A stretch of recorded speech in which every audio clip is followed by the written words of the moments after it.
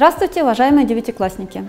Все ближе и ближе время сдачи основного государственного экзамена, поэтому неудивительно, что сегодня мы с вами поговорим о подготовке к ОГЭ. Как вы знаете, э, основной государственный экзамен по русскому языку состоит из трех частей. Первая часть – это сжатое изложение, вторая часть – задания на разные разделы русского языка, и третья часть – это сочинение рассуждения. О сочинении рассуждений мы сегодня и поговорим, и поговорим о том, как выполнять задание 9.2. Задание будет звучать таким образом. Используя прочитанный текст из части 2, выполните на бланке ответов номер 2 только одно из заданий – 9.1, 9.2 или 9.3. Мы сегодня поговорим, как я уже сказала, о задании 9.2. В этом задании оценивается ваше умение понимать главную мысль прочитанного текста, адекватно выражать собственное мнение, аргументировать его, извлекая аргументы из исходного текста, а также оцениваются практические умения, такие как речевое оформление и грамотность. За содержательную часть вы сможете получить 9 баллов. Из 33 возможных, согласитесь, это не очень мало. Также 10 баллов вы можете получить за грамотность, но грамотность оценивается за сочинение и изложение вместе. Ваше сочинение должно будет обладать всеми признаками текста. Смысловой цельностью, связностью, членимостью. Этого требует от нас задание. Э, на смысловую цельность влияют такие качества, как э, законченность текста, логичность текста, доказательность его. И мы с вами сегодня поговорим о том, как это делать. Э, очень важно при выполнении задания 9, хоть 9.1, хоть 9.2, хоть 9.3 вы выберете, при выполнении этого задания умело сочетать опору на текст исходный и сочетать с этим свои собственные размышления. Сейчас мы с вами поработаем с текстом. Текст достаточно большой, я его прочитаю, а вы внимательно слушайте. Был октябрь. На лугах гуляло стадо и доносило дымком с картофельных полей. Я шел медленно, посматривая на перелески, на деревеньку за лощиной, и вдруг ясно представил себе нашего поэта Николая Алексеевича Некрасова. Здесь он бродил, беседовал с деревенскими ребятишками, слагал строки стихов, которых воспевал красоту верхневолжской природы. Сама по себе природа вечна и почти неизменна, если человек ее не уничтожает. Пройдет сто лет, люди придумают новые машины, побывают на Марсе, а деревья будут такими же, и также будет охапками разбрасывать ветер золотой березовый лист. Плыли мы как-то вниз по Ветлуге на старой деревянной барже. Рабочие леспромхоза, их было человек 10, лениво переговаривались, Две поварихи и женщина из района сидели на корме и ели яблоки. Река сначала была узкой, берега унылы, с лозняком и ольхой, с корягами на белом песке. Но вот баржа обогнула отмель и вышла на широкий простор. Глубокая и тихая вода лакированно блестела, и в это зеркало смотрелись с обрыва задумчивые ели, тонкие березки, тронутые желтизной. Вскоре мы вышли на самую середину реки, и когда за изгибом показался хуторок с убегающей в поле дорогой, одна из женщин склонила голову на бок и запела. Запела как будто о том, что видела. «Куда бежишь, тропинка милая, куда зовешь, куда ведешь». Продолжили петь женщины уже вместе. А мужчины, сдвинув брови и поджав губы, тоже уставились на хуторок, и кое-кто из них невольно тихонько подтягивал, не зная слов. А может быть, мужчины стеснялись петь в голос – и целый час они все вместе пели, а баржа катила себе вниз по ветлуге, лесной дикой реке. Я смотрел на них, вдохновленных, и думал о том, что этих людей, таких разных, сейчас вдруг что-то сблизило и заставило почувствовать вечную красоту. Еще размышлял я о том, что красота, видно, живет в сердце каждого человека, и что очень важно суметь разбудить ее, не дать ей умереть, не проснувшись. Вот такой текст Юрия Тарасовича Грибова, и задание к нему предлагается следующее. Напишите сочинение рассуждения, объясните, как вы понимаете смысл фразы из текста «Красота живет в сердце человека», приведите в сочинении два примера иллюстрации из прочитанного текста, подтверждающих ваши рассуждения. Приводя примеры, указывайте номера нужных предложений или применяйте цитирование. Объем сочинения должен составлять не менее 70 слов. Если сочинение представляет собой пересказанный или полностью переписанный исходный текст без каких бы то ни было комментариев, такая работа оценивается нулем баллов. Сочинение пишите аккуратно, разборчивым почерком. Итак, ребята, давайте в этом большом задании выделим ключевые слова, на которые мы должны опираться, чтобы выполнить свою работу. Прежде всего, это сочинение рассуждения. Именно этот вид работы от вас требуется. Во-вторых, два примера иллюстрации. Что такое пример иллюстрации, мы с вами поговорим обязательно чуть попозже, а сейчас давайте вспомним, что такое сочинение рассуждения. Классическое сочинение рассуждения имеет вот такую структуру. В нем есть тезис, мысль, которую вы будете доказывать. В нем есть доказательства, которые мы называем аргументы. Для этого сочинения достаточно двух аргументов. И в качестве аргументов здесь будут выступать примеры из прочитанного текста плюс ваш комментарий этих примеров. И вывод, итог рассуждения. Я советую вам строить всегда свое сочинение по этой традиционной классической схеме. С чего мы начнем работу? Внимательно прочитайте исходный текст, это мы с вами сделали. Найдите в тексте это предложение, или иногда это может быть несколько предложений, фрагмент, и подчеркните его. Прочитайте задание 9.2, мы тоже сейчас на него посмотрели, и поработайте с предложением, фрагментом текста, вынесенным в задание. Подчеркните в нем ключевые слова. Какая мысль заключена в этом предложении фрагменте, об этом надо подумать. Определите, кому принадлежит высказывание, какова позиция автора произведения, как он ее выражает. Вы, конечно, знаете, что позиция автора иногда бывает выражена прямо, но далеко не всегда. Чаще всего позиция автора, автора бывает выражена через, э, опосредованно, через диалоги, через какие-то оценочные слова. Перед нами опять наш текст. Внизу выделена фраза, которая э, есть в задании. Красота, видно, живет в сердце каждого человека. Вы видите, что это даже не целое предложение, а часть предложения. В этом предложении уже подчеркнуты ключевые слова. Красота и в сердце. Вот о чем мы должны подумать. О чем хотел сказать нам автор. Сейчас на этом этапе, когда вы анализируете предложение, я советую вам записать своими словами, как вы понимаете это предложение, как вы понимаете эту фразу. При этом помните, что вы должны давать рассуждения, опираясь на прочитанный текст. Не просто анализировать фразу, а обязательно с учетом того, что вы прочитали раньше. Опираясь на ключевые слова, мы выделили два слова «красота» и «сердце». Сформулируйте основную мысль, это и будет тезисом вашего сочинения. Вот перед нами предложение, в котором подчеркнуты ключевые слова «красота» и «сердце». Как я уже вам сказала, сейчас вам нужно будет записать своими словами, как вы для себя поняли эту фразу, что хотел сказать автор этой фразой. Возможно, у вас получится такое размышление. В каждом человеке от природы заложено чувство прекрасного. Нужно уметь всматриваться в окружающий мир, замечая его красоту – Созерцая прекрасное, можно пробудить свое сердце, научив его ценить эту красоту. Это пока еще не тезис, это ваше понимание предложения, оно вам понадобится для того, чтобы сформулировать тезис и написать первый абзац вашего сочинения. Для формулировки тезиса необходимо э, э, какое-то небольшое вступительное предложение. Примеры этих предложений вы видите на слайде. Какой смысл, у нас Юрий Тарасович Грибов зовут автора, какой смысл Юрий Грибов вкладывает в следующие строки? Красота живет в сердце человека. Я думаю, что, и после этого может идти формулировка тезиса. Это так называемая вопросно-ответная форма. Есть и другие варианты. Автор, заканчивая свое рассуждение фразой красота живет в сердце э, каждого человека, заставляет нас задуматься о. Как правило, ребята, э, фраза, которая будет вам дана для объяснения, для анализа, она будет находиться в конце текста, потому что в художественном тексте чаще всего именно в финале заключается какая-то ключевая мысль, основная мысль. Смысл финала текста э, Юрия Грибова я понимаю так. Смысл последних строк текста говорит нам о том, что Текст заканчивается словами, на мой взгляд, речь идет о том, что я считаю, что мысль автора данного текста, выраженная в выделенном фрагменте, заключается в том, что автор данного текста привлекает читателя к размышлению над вопросом. По моему мнению, в указанном фрагменте выражена главная мысль текста, которая заключается в следующем. В этом отрывке автор говорит о том, что в выделенной фразе автор выражает мысль о том, что. А, любое из этих предложений вы можете взять для того, чтобы начать свое сочинение.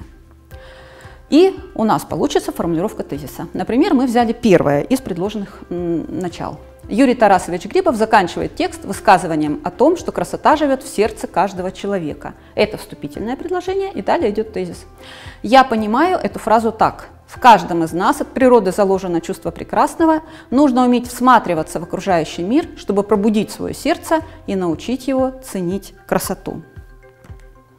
Итак, тезис у нас готов, мы можем переходить к основной части. Я уже вам говорила о том, что сочинения, все части сочинения должны быть связаны между собой. И сейчас посмотрите, пожалуйста, мы переходим к основной части. Помните о том, что это самая объемная часть сочинения, больше, чем вступление и вывод – в основной части вы должны продемонстрировать свое умение логически рассуждать, доказывать свое мнение, аргументированно, стилистически грамотно. Избегайте, пожалуйста, в этой части пересказа текста, это очень частая ошибка, а также не следует в этой части сочинения говорить о чем-то, что не имеет отношения к анализу предложенной фразы. Помните, ваша сейчас основная задача – это подобрать аргументы, доказательства вашего тезиса. Ни о чем постороннем здесь писать не надо. Давайте посмотрим, какие мы можем найти примеры иллюстрации из текста. А что может быть примером иллюстрации? Это может быть отдельное предложение, это может быть диалог, это может быть отдельная фраза, это может быть целый эпизод. Внизу опять выделена наша фраза, которая приведена для анализа «Красота, видно, живет в сердце каждого человека».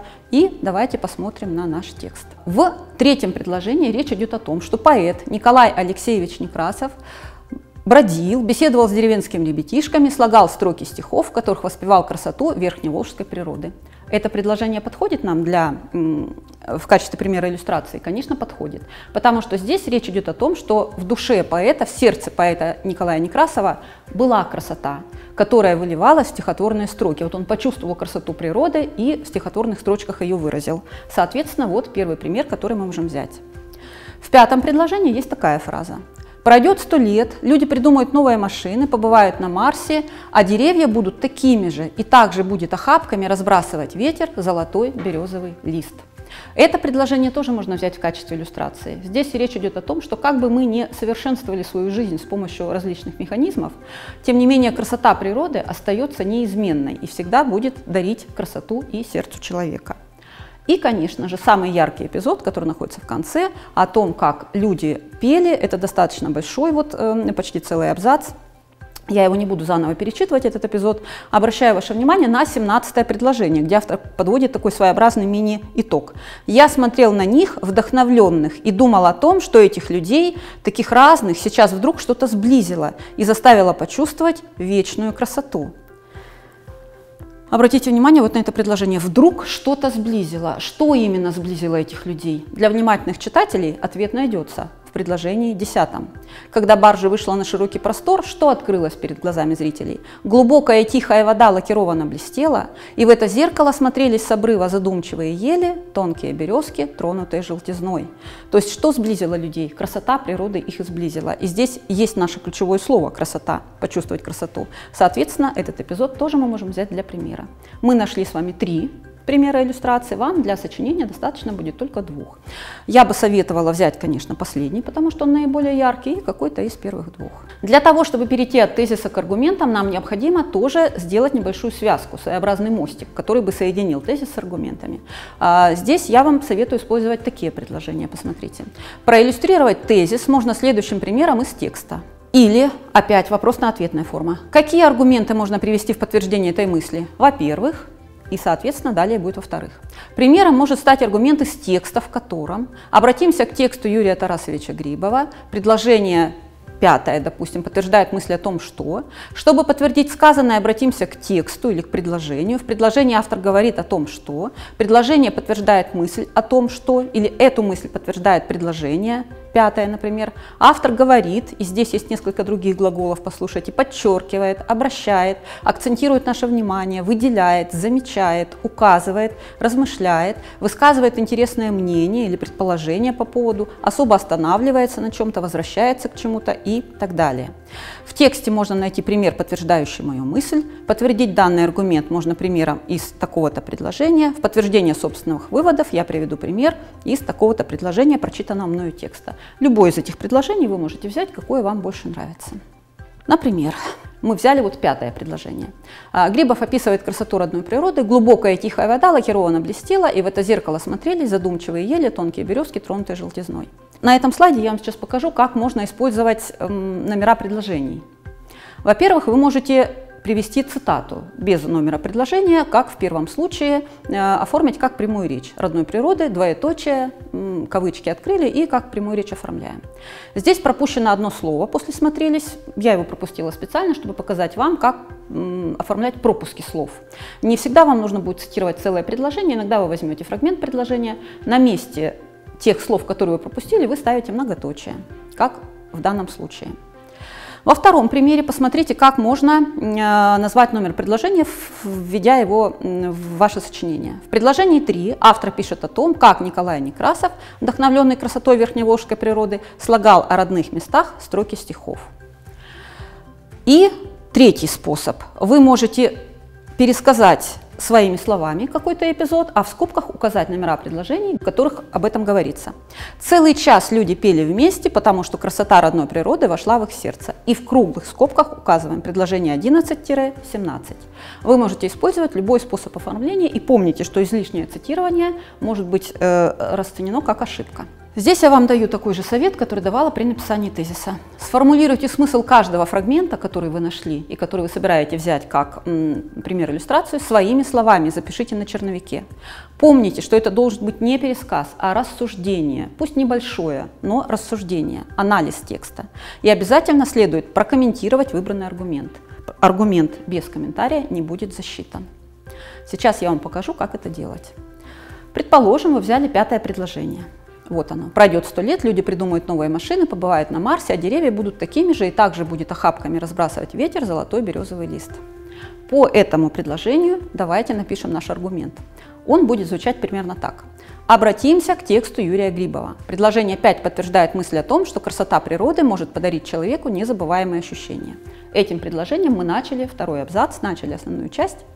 Теперь мы должны прокомментировать этот аргумент. Например, такими словами.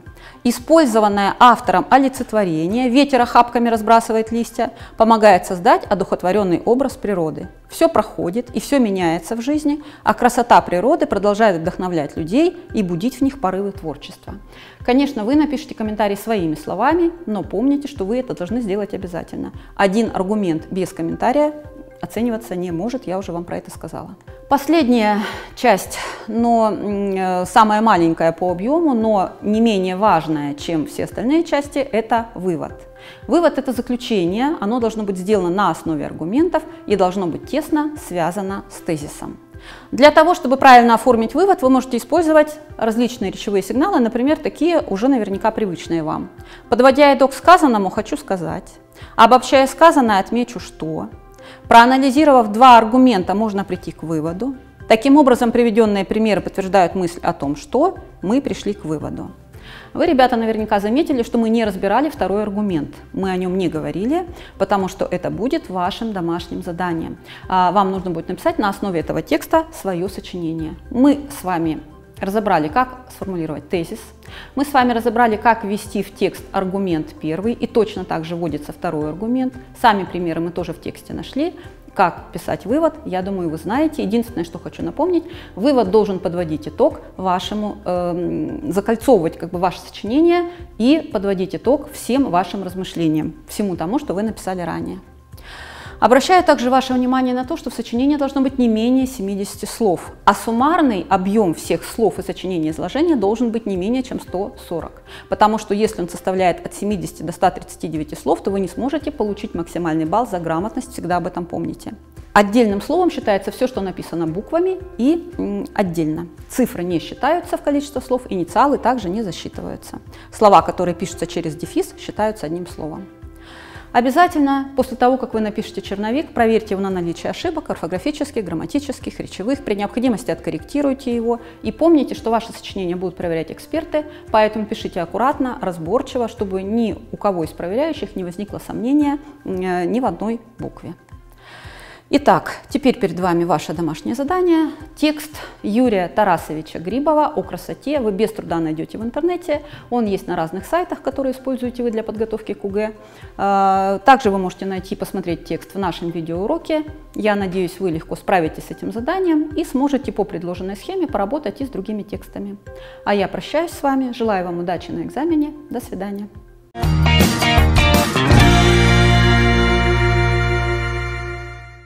Здравствуйте, уважаемые одиннадцатиклассники!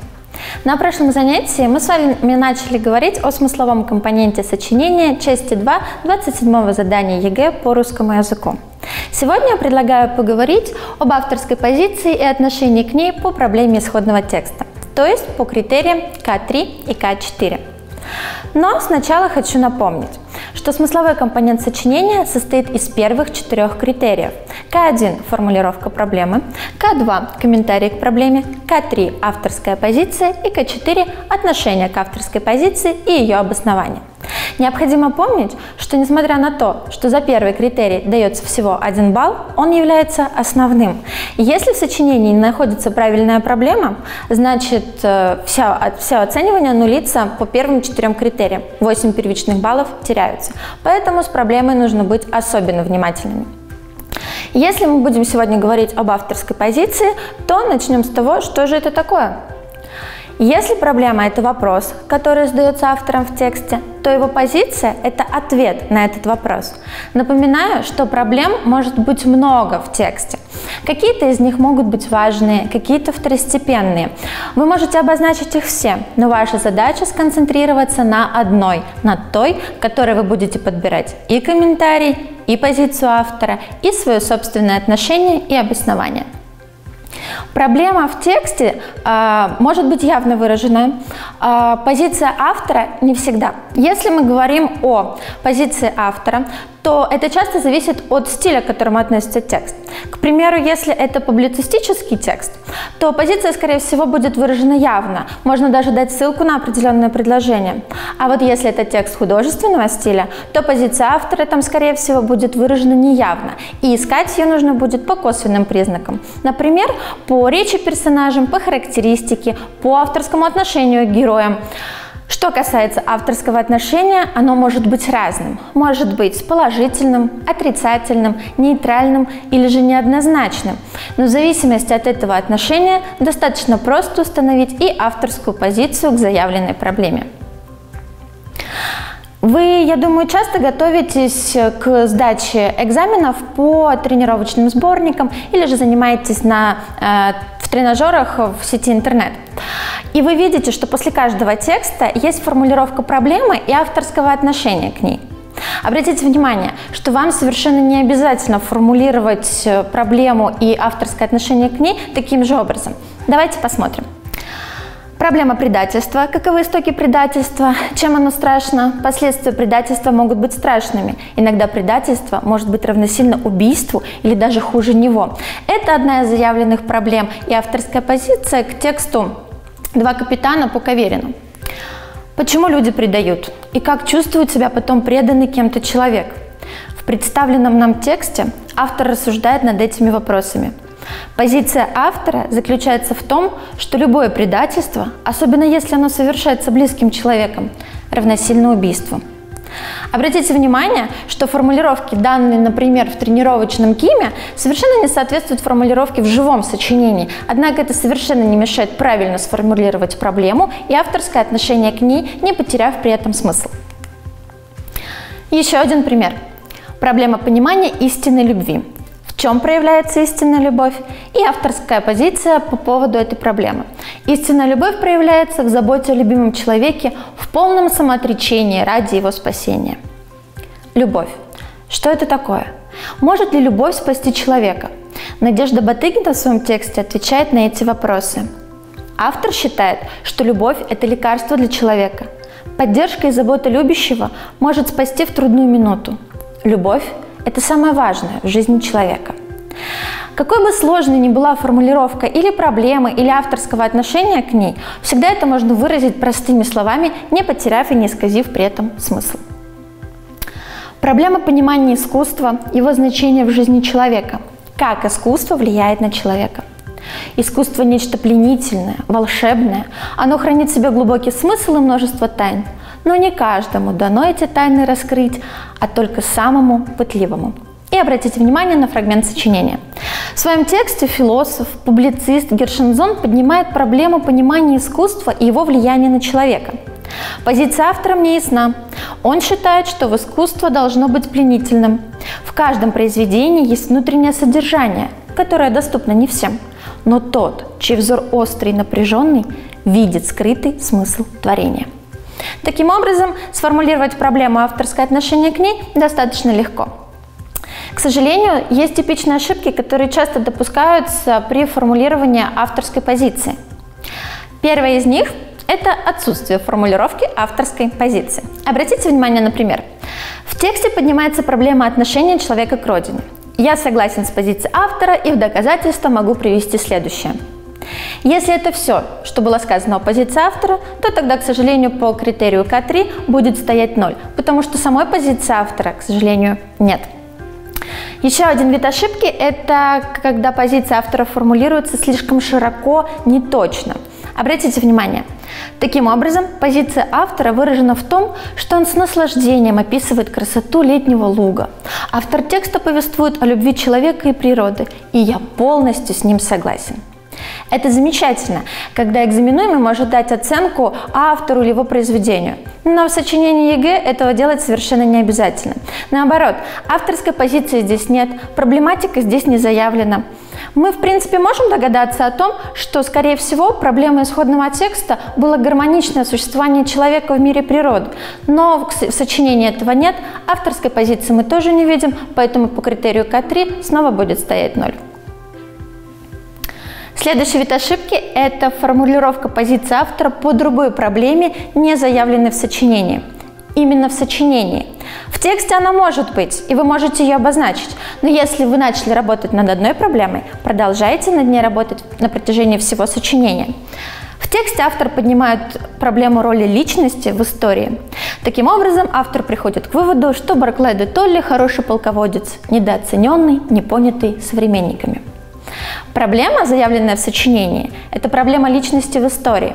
А вот авторская позиция подходит совершенно к другой проблеме, к проблеме что многих э, великих людей, личностей, в том числе полководцев, недооценивали при жизни и смогли оценить только при смерти.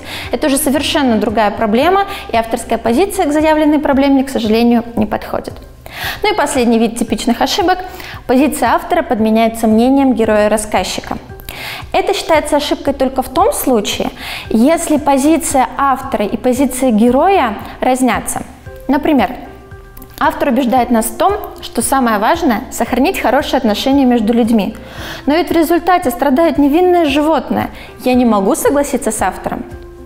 Дело в том, что по тексту это герой неправильно понимает позицию автора. Это он убежден, что хорошие отношения нужно сохранять между людьми в любой ситуации, даже если это причиняет боль и страдания другому живому существу. Автор критикует главного героя, он укоряет его за это.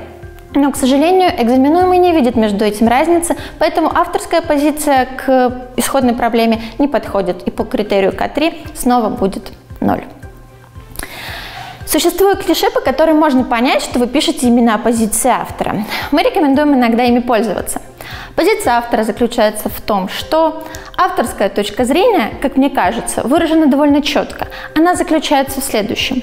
По мнению автора, с позиции автора, с точки зрения автора, Позиция автора такова, автор считает что, автор стремится донести до читателя мысль о том, что и другое. Кстати, вы можете сформулировать позицию автора и без слов «позиция» и «автор». Для этого достаточно вынести в отдельный абзац после комментария, пояснения к нему, смысловой связи э, то суждение, которое, на ваш взгляд, соответствует авторской оценке. Тогда эксперту будет легко понять, что это именно авторская позиция и ничего другого. Переходим к критерию К4. За него тоже дается всего один балл, но и на этот балл нужно заслужить. Первое, что необходимо сделать для выполнения этого критерия, заявить, согласны вы или не согласны с позицией автора. Если есть данная фраза в сочинении, значит полдела уже сделано. Но этого недостаточно. Для того, чтобы получить целый балл, необходимо обосновать свое согласие или несогласие с позицией автора. Обоснование может быть разным. Доказательство, опровержение, подтверждение, объяснение, интерпретация, определение или же оправдание – что касается видов обоснования, их можно поделить условно на три группы. Первый из них – это логические.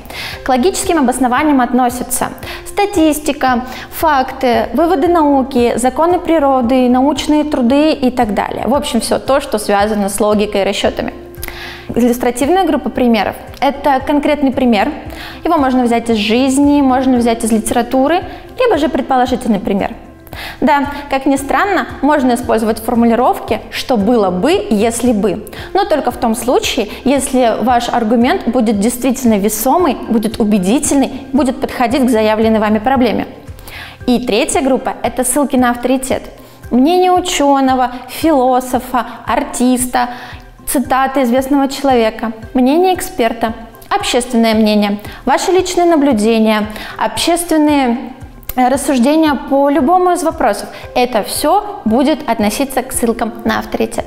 Приведем несколько примеров.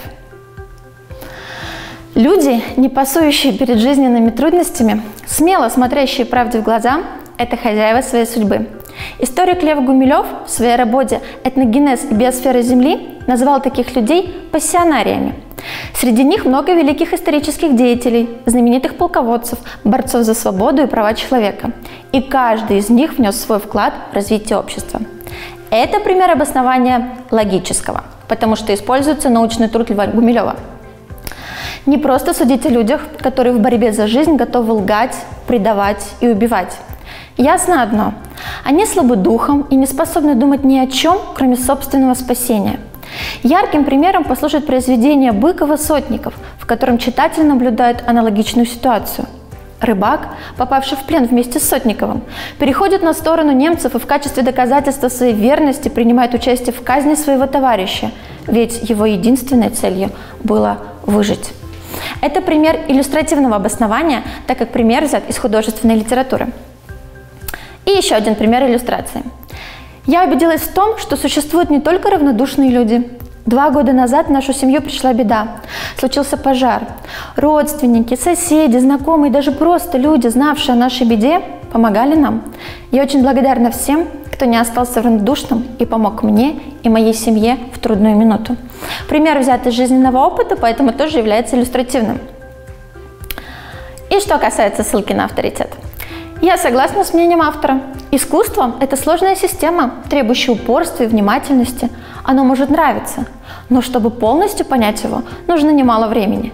Люди тратили века на разгадывание тайн мировых произведений искусства – это свидетельствует о том, что по-настоящему оценить величие многих творений можно лишь после кропотливого изучения деталей и мелочей.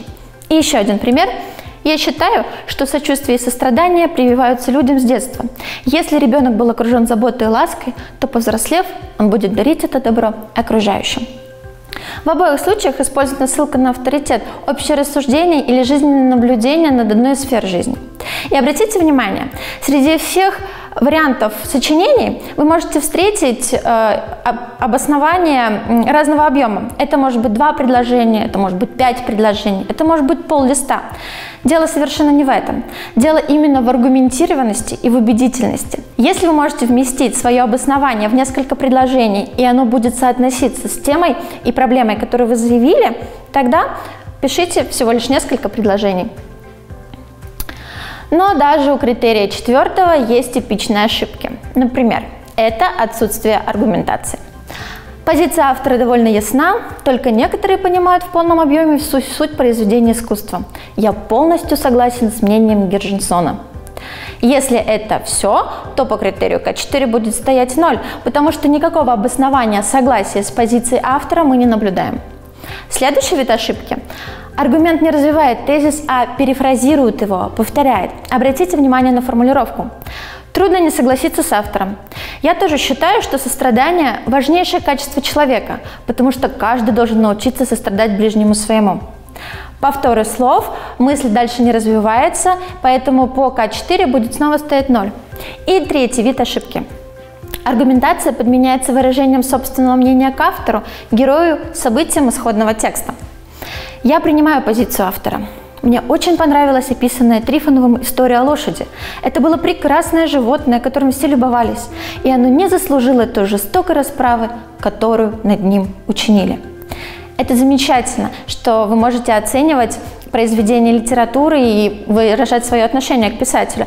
Но, к сожалению, в критерии четвертом это совершенно не нужно. Там нужно только ваше обоснование согласия или несогласия с позицией автора. Обратите внимание именно на это.